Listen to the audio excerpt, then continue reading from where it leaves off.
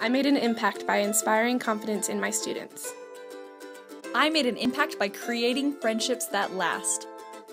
I made an impact by teaching English with passion.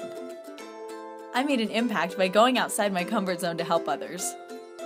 I made an impact by challenging stereotypes and embracing another culture. I made an impact by encouraging my students to dream big. Want to make an impact on the world? Want to have a life changing adventure? Volunteer with Impact China to teach English and travel to some of the most amazing destinations in the world. Come teach and travel in China with us this year and find out the difference you can make. Stop dreaming and start doing. Visit impactchina.org to learn more and to apply today. Impact China. What will your impact be?